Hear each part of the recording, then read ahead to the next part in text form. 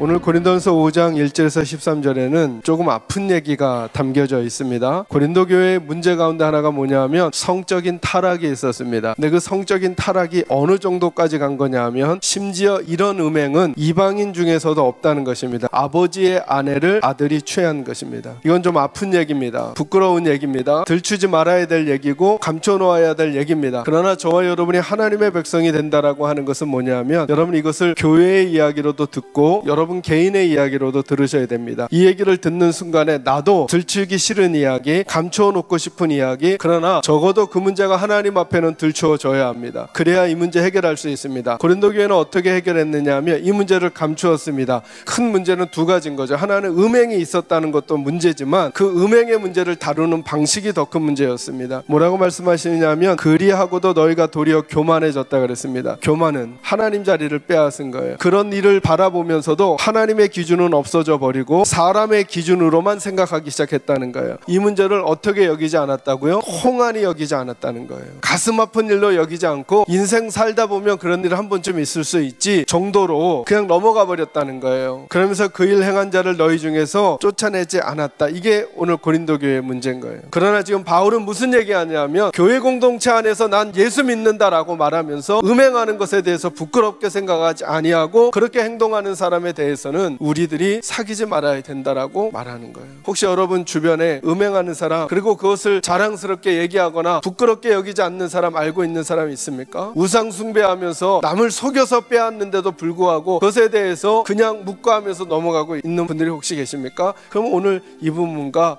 저희가 절대 구분해서 생각할 수 없다는 것이죠. 하나님의 백성들에게 하나님이 걸고 계시는 도덕적 기준이 윤리적 기준이 높으시다는 거예요.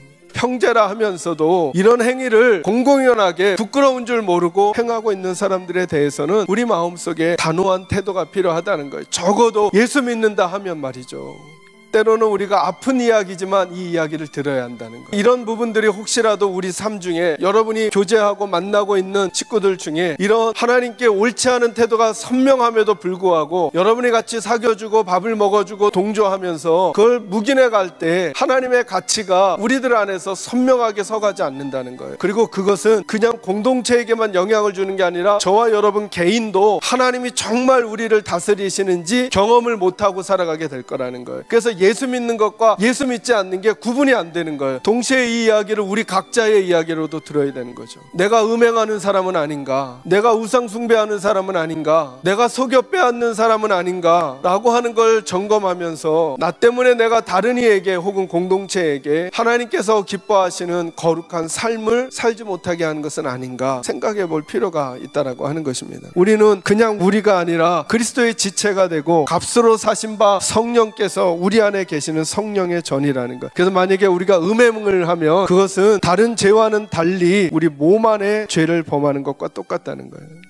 다시 말하면 성령을 상하게 하고 그리스도의 지체를 상하게 하는 거라는 거예요. 그런데 그런 일들이 교회 안에서 벌어지는데도 불구하고 그것에 대해서 넘어가지고 그냥 포용해주고 그것을 사랑이라고 덮어버렸다는 거예요. 묵은 누룩을 내버리라는 거예요. 묵은 누룩이 남아 있다는 거예요. 묵은 누룩이. 그 묵은 누룩 때문에 자꾸 하나님의 방식으로 살아가지 아니하고 그 묵은 누룩의 영향을 받으며 살고 있다는 거예요. 왜 우리는 예수 믿는 삶이 왜 확연히 다르지 않을까? 왜 비슷하다고 자꾸 느껴질까? 있을까? 저와 여러분의 묵은 누룩 때문은 아닌지 살펴봐야 지혜로운 거죠. 여러분 이건 아주 충격적인 사인이거든요. 오늘을 사는 예수의 사람들도 하나님을 믿는다고 하면서도 자기의 묵은 누룩 때문에 우리에게 들려오는 하나님의 말씀들을 이렇게 튕겨낼 수 있다는 거예요. 그리고 말씀을 안 받아들이면 생각이 이동이 안 되기 때문에 자리가 이동됐으면서도 생각이 이동이 안 되면 더 혼란스러운 삶을 살 거예요. 우리의 묵은 누룩을 벗어버리고 하나님의 말씀을 받아들이기 시작하면 우리의 속사람이 달라 달라지고 눈빛이 달라지고 표정과 태도가 달라질 수 있다니까요, 여러분. 왜 고린도 교회 성도들은 왜 하나님의 말씀대로 음행을 피하지 않고 왜 하나님의 말씀대로 음행을 행한 사람을 내쫓지 않았을까? 그건 그들이 가지고 있었던 묵은 누룩 때문이에요. 저는 오늘 이 질문을 우리 스스로에게 던지려고 하는 것입니다. 나의 묵은 누룩은 무엇인가? 살았고 활력이 있는 하나님의 말씀이 내 가슴에 들어오고 내 가슴에 들어온 하나님의 말씀을 가지고 내가 새로운 태도와 자세로 살도록 하는데 내게 있는 있는 묵은 누룩은 무엇인가? 그것이 내 나 개인의 전통적인 내 고집이거나 내 익숙함이거나 내 편안함이거나 내가 좋아하는 것이라면 그리고 그것이 묵은 누룩이라 하나님의 세계가 내게 못 들어오도록 만든 것이라면 오늘 한번 묵은 누룩을 내버리라는 하나님의 음성에 저와 여러분이 한번 귀를 기울여야 하지 않겠냐는 것입니다. 묵은 누룩을 내버리고 내게 때로는 아픈 말씀이더라도 하나님의 말씀에 아멘하고 나를 격려하는 말이라면 내가 지쳤더라도 아멘으로 받고 용기를 내도록 하나님의